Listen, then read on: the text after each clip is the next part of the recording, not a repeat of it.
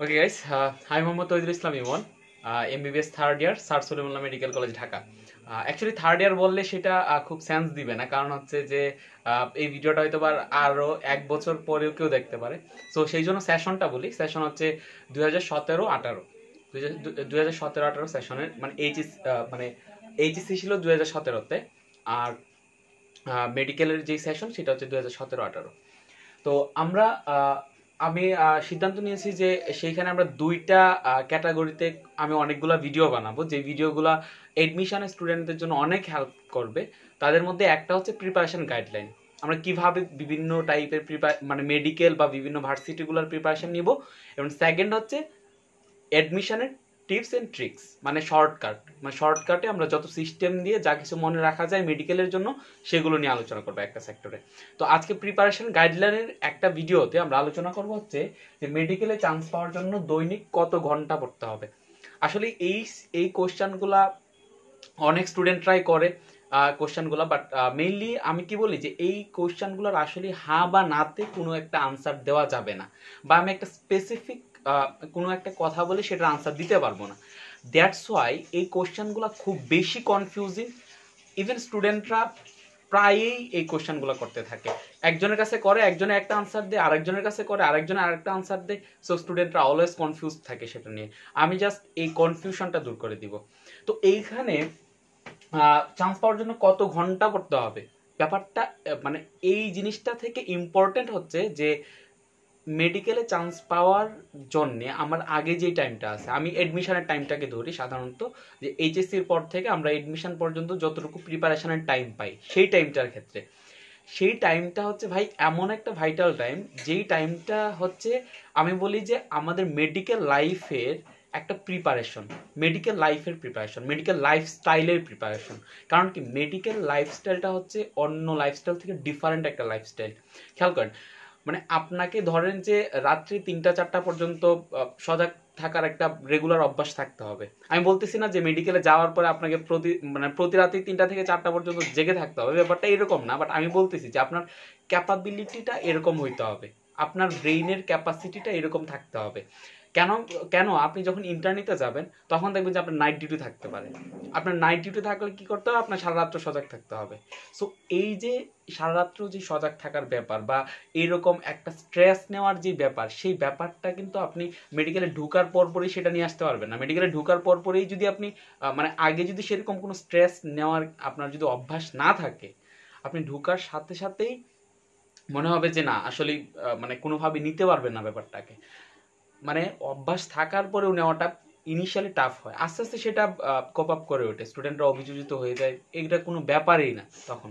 So এই যে তিন বা চারটা মাস বা সাধারণত অনেক ক্ষেত্রে তিন মাসের মতো পাওয়া যায় এই যে এইচএসসির সম, এইচএসসি দেওয়ার পর থেকে একেবারে এডমিশনের টাইম পর্যন্ত, সেটা হচ্ছে ওই যে লাইফস্টাইল যেটা, সেটার জন্য একটা প্রিপারেশন টাইম ইভেন এই টাইমটাতে আপনি যতটুকু হার্ড ওয়ার্কিং করবেন, আপনি মানে এই টাইমে স্টুডেন্টটা হার্ড ওয়ার্ক করতে পারে।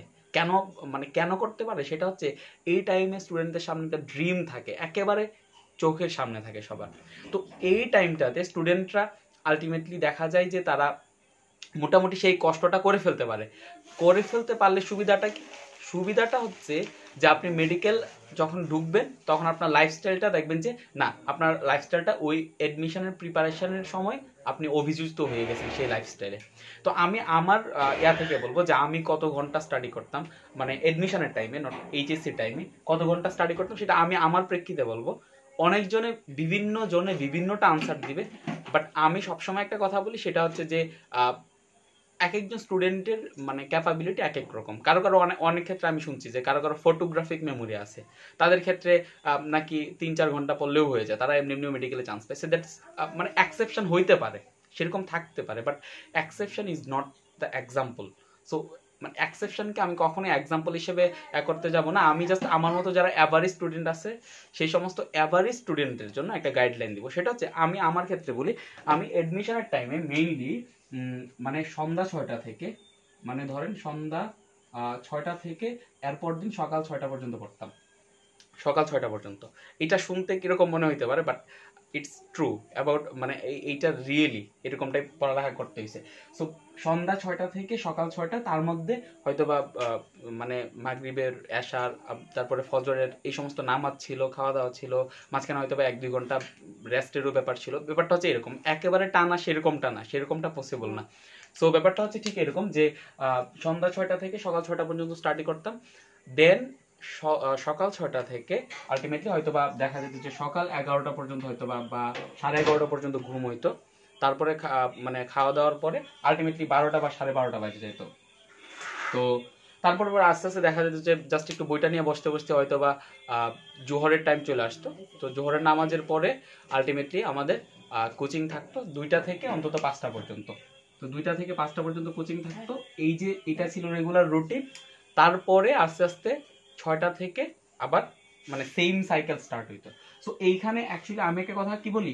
যে এইখানে আপনারা ক্যালকুলেশন করলে বুঝতে পারবেন যে কত ঘণ্টা পড়তে হয়। অন্তত আপনাকে রেগুলার অন্তত সব কিছু বাদে কোচিং টোচিং সব কিছু বাদে আপনি আপনার মতো টাইমটা ঠিক করেন। আপনি সন্ধ্যা ছয়টা থেকে সকাল ছয়টা পর্যন্ত না পড়তে পারলে দ্যাট ডাজেন্ট ম্যাটার বাট আপনি টাইমটা ঠিক করেন।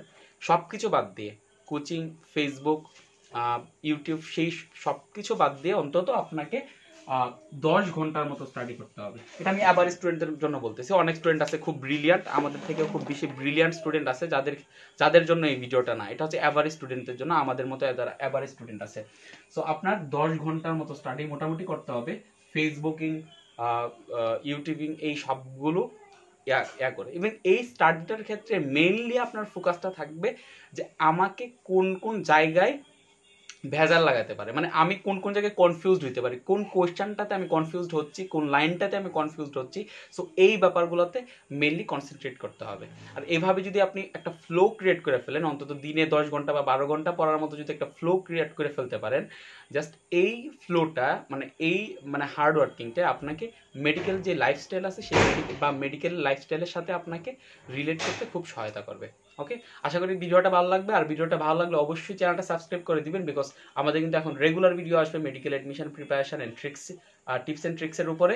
আর লাইক শেয়ার কমেন্ট তো করবেন আর যাদের যাদের প্রবলেম আছে মেডিকেল এডমিশন নিয়ে কোনো কোয়েশ্চেন আছে, তারা কোয়েশ্চেনটা করে ফেলেন কমেন্ট বক্সে আমি তো আনসার দিয়ে দিব। আর যদি এইভাবে আনসার দেওয়া পসিবল না হয়, তাহলে ভিডিও বানাই ফেলব। Okay thanks for watching